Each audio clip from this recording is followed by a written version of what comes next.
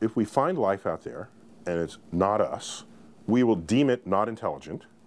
But what may be equally as likely is that we find life that's vastly more intelligent than we are.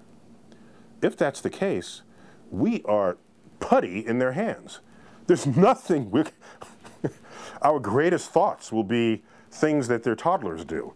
And so they would run circles around us, and some fun science fiction stories portray Earth as that this has already happened, and Earth is just their zoo. We're all just a zoo for these intelligent creatures. And if they're smart enough, they can construct the zoo so that we would never even know we're in one. Isn't that kind of what we do in our zoos? You know, the penguins are in a place where you paint some icebergs, you know, we, we think that they don't know. So if we find some creatures not as smart as we are, I think they would make interesting subjects to explore what you know what they're made of, how they work, what's their biology, what do they eat, do they eat? Maybe they just receive sunlight. There's a famous uh, science fiction story. Forgive me, I forgot who wrote it. Called "They're Made of Meat," and these were aliens who came to visit Earth, and they found humans not only being made of eat meat, but they eat other creatures on the planet, and we take that for granted that we eat other life. But given the sun as an energy source, in principle, you could use the sun as energy. When we sort of do, that's what it means to get energy from plants. And in fact, we're all solar powered in that sense, but very indirectly so. And imagine another species that where they power their bodies from sunlight and they come and see us gnashing on each other's ribs for food. It makes us look pretty primitive. You know, ethics, there are a lot of kinds of ethics that people think of. There's, and I'm glad there's an entire you know branch of philosophy that addresses this. Uh, it, it, can get a little intractable in the frontiers of their journals, but I, I think their heart is in the right place. That there's there, there's, there ought to be ways to think about your behavior and its relationship to others and to nature and your environment.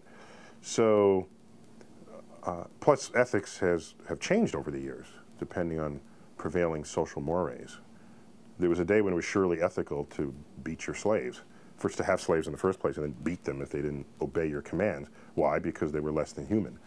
And in our Constitution, they were three fifths human, you know, even down to mathematical fractions. So, so ethics can and does evolve as a, as a means of thinking about how to treat others. So, I think everyone should have some sense, some ethical sense of the world. Otherwise, what would the world be? There would be no civilization were it not for some ethics that we acquire, that we think about, that we deduce, that are built in.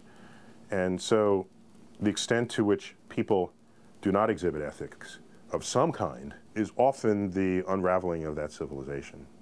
Ethics evolves as we come to learn about the natural world and our relationship to it. And I'd like to think that it's evolving in, a, in, in the right direction, in the sense that we are not apart from, but we're participants in a great unfolding cosmic story.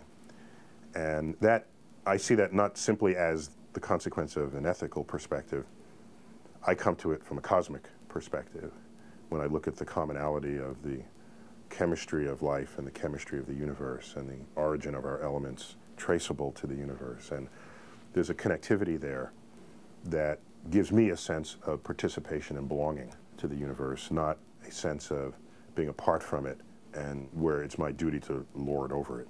All of this matters, I think, and uh, chances are if there's a kid with a sort of distorted attitude about how to treat others, you go knock on the door and speak to the parents, and there it is, writ within the behavior of the parents. So maybe it's the re-education of the adults rather than the concern for the kids that matters here. The fact that someone can find himself in the position of saying, it's just a dog, harps back to me hearing people say, oh, it's just a, you know, put your nationality there or put your religion there or put whatever, it's just that. And people justifying uh, wanton slaughter of each other. So I think it's, it's deeper within the species than just whether one person treats the dog one way or another. And to me, that's disturbing. one of the more fun segments that I had the privilege of participating in in the PBS show Nova Science Now was on animal intelligence, and one particular segment was on canine intelligence. And so I got to hang out with Chaser, a border collie who had memorized at least a thousand words for toys, uh, trained by uh, his owner.